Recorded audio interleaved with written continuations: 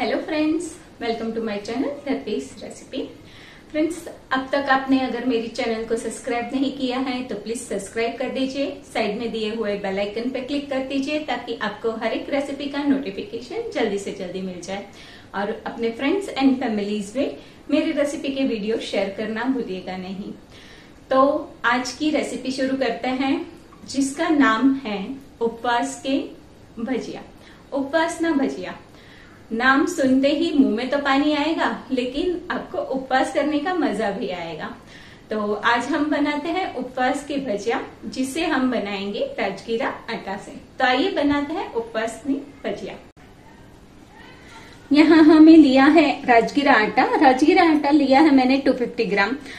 Readymade लिया है। अगर आपको चक्की पे पीसा हुआ अच्छा सा फ्रेश राजगीरा आटा मिलेगा तो वो भी आप ले सकते हैं। उसके साथ लेना है बहुत सारा धनिया, कटा हुआ, बारीक कटा हुआ धनिया लिया है। तीन बड़ी वाली हरी मिर्च ली है, जो कम तीखी है। वन फोर्थ कप जितना लिया है मूंगफली का दाना, जिसे मैंने दरदरा कुट लिया है। साथ ही में नमक, जीरा एंड फ्रूट सॉल्ट तो आइए बनाते हैं फटाफट से। राजगीरा भजिया। तो सबसे पहले हम बैटर बनाएँगे राजगीरा का। सबसे पहले मैंने एक बर्तन में राजगिरा का आटा निकाल लिया है और इसके अंदर अभी ऐड करेंगे हम धनिया और मिर्ची। धनिया को अच्छे से मैंने वॉश कर लिया था, उसके बाद मैंने कट कर लिया है और मिर्ची को बहुत ही अच्छे से बारीक फाइनली चॉप कर लिया है। उसके साथ ऐड करेंगे हम जीरा। आधा चम्मच जितना जीरा ऐड करते हैं। नमक स्वाद के अनुसार अराउंड आधा चम्मच जितना। थोड़ा सा मैं ज़्यादा डाल देती हूँ। और साथ ही में ऐड कर देंगे हम दरदरा कुटा हुआ।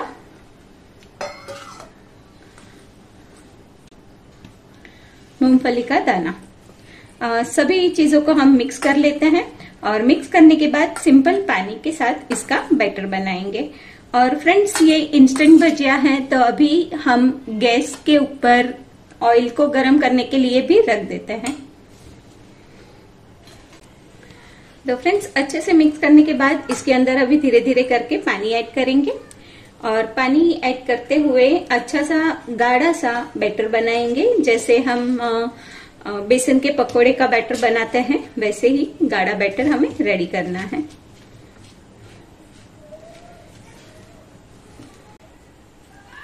तो फ्रेंड्स मैंने अराउंड पौना कप जितना पानी यूज़ किया है, और इसे अच्छे से डाइल्यूट कर दिया है, और इसका जो कंसिस्टेंसी है, वो भी बहुत स्लरी नहीं रखना है, खाली उतना ध्यान रखना है कि हम इसे हाथ से हैंडल कर सके, हाथी से ही हम भजिया छोड़ेंगे इसी वजह से। तो बस ये हमारा बैटर रेडी हो गया है।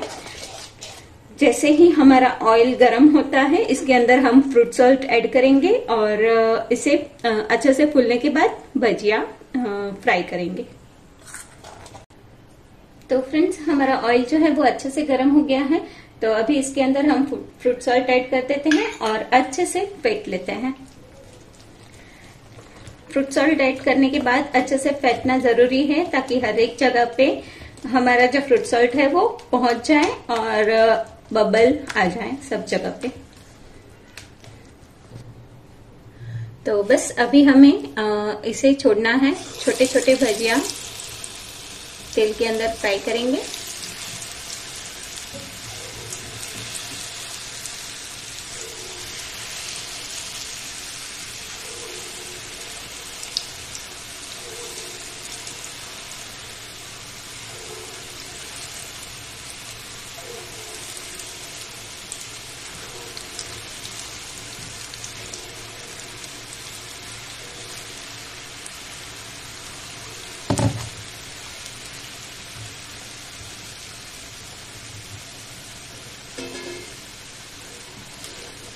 थोड़ा सा इसे टर्न करेंगे अलटते पलटते हुए अच्छे से गोल्डन ब्राउन होने तक इसे फ्राई करेंगे।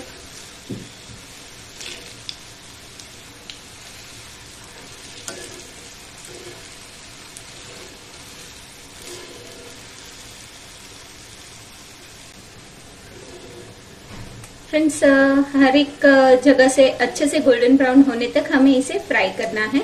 और फ्राई करते समय थोड़ा सा फ्लेम स्लो कर देना है ताकि अंदर तक अच्छे से ये पक जाए। और जब भी बबल्स बहुत ही कम हो जाए तभी हम ऐड कर आ, फ्लेम को बढ़ाएँगे और ऊपर का जो कवर है उसे अच्छे से क्रिस्प होने देंगे।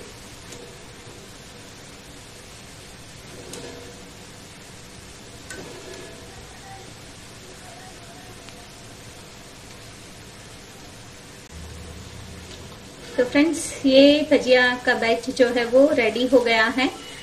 फ्राई होके। अच्छे से ऑयल को